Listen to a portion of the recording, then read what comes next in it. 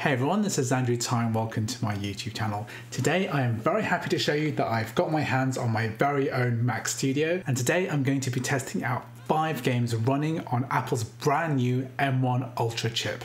So if you haven't subscribed already, then please consider subscribing. It only takes a moment to do and it really helps to support this channel and the work that I do. So the chip that we're going to be testing today is the M1 Ultra. And if you watch Apple's announcement, you'll know that the M1 Ultra is composed of two M1 Max chips which have been fused together. And basically we're able to access the power of both chips at the same time. So the M1 Ultra has 20 CPU cores and it can have between 48 and 64 GPU cores, which is double that of the M1 Max chip. So today we're going to be testing out the Mac Studio with the M1 Ultra chip with 48 GPU cores. So this is going to be the base tier of the M1 Ultra. So the first game that we're going to be testing is that old favorite Shadow of the Tomb Raider, which remains one of the best AAA titles on the Mac operating system, and this runs great on even the original M1 chip. This is despite the fact that this is still an Intel coded game and therefore it's using the Rosetta 2 translation layer in order to work on the ARM architecture. It performs well because it's been optimized for Apple's Metal Graphics API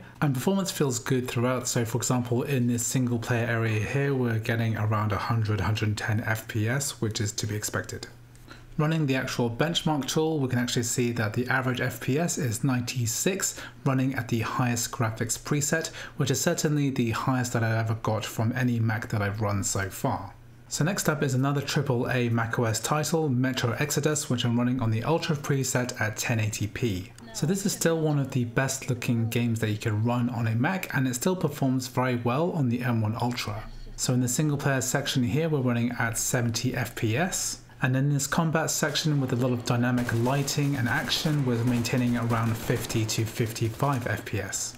So this game has a lot of mixture of environments which are indoors and also outdoors as well. And so the hardware that you run the game on needs to be able to cope with everything the game throws at it. And I can definitely say that the M1 Ultra is definitely handling this game very well. So next up is the classic multiplayer shooter Counter-Strike Go. So here I'm running at 1080p and I've turned all of the settings down to the lowest possible. That's because CSGO players don't really care about graphical quality, they just want as high a frame rate as possible. So the problem with the Mac port of CSGO is that it uses the ancient graphical API OpenGL, which has actually been deprecated from recent versions of Mac OS. So therefore the hardware needs to kind of brute force past the unoptimized code, but thankfully the M1 Ultra is able to get around 100 to 120 FPS in this game, and this is despite all of the unoptimized code that it has to overcome.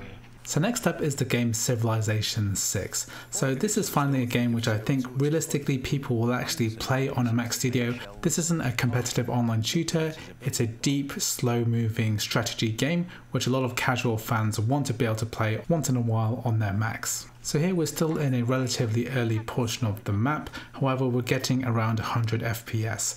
And also I can definitely say that the turn times are pretty good, especially at this stage of the game, and this game performs very well.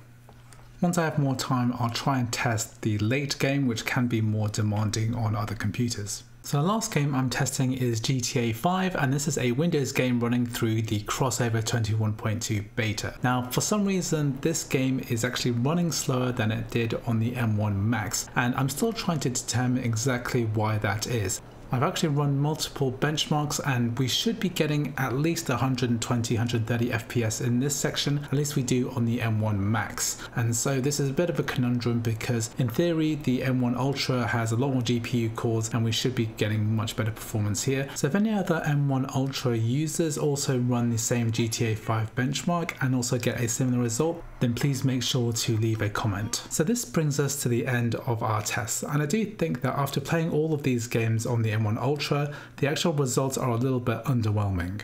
So in a previous video, I also compared the benchmarks for Shadow of the Tomb Raider between the original M1 chip, the M1 Pro, and also the M1 Max chip, all of which have different GPU core counts. And basically the conclusion of that experiment was that the more GPU cores that you have, the faster the game will perform. However, we do start getting into diminishing returns, so the M1 Max chip was definitely the fastest of that bunch, however not necessarily sure it was the most worthwhile to buy.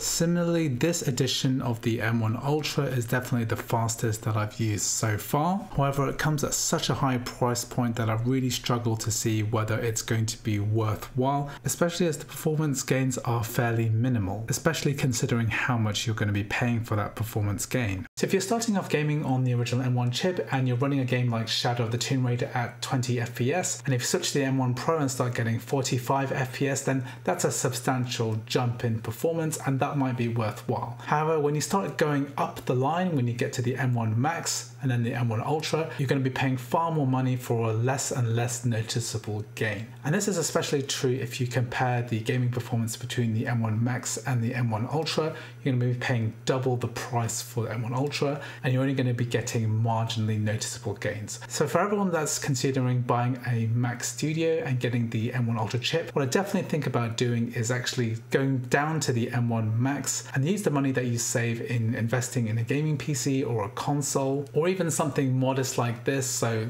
a Steam Deck is around four or five hundred dollars depending on which model that you buy, and this is going to be able to play games far more reliably and probably faster as well than most Apple Silicon hardware. So definitely think about this. So I've just received my Steam Deck and I'm going to be doing a bunch of videos and testing on this. So if you'd like to keep up to date, then please make sure to subscribe to the channel. Also, if you want me to do any specific game testing for the M1 Ultra, then please make sure to leave a comment. I hope you enjoyed the video. If you did, please like, please subscribe, and I'll see you in the next video.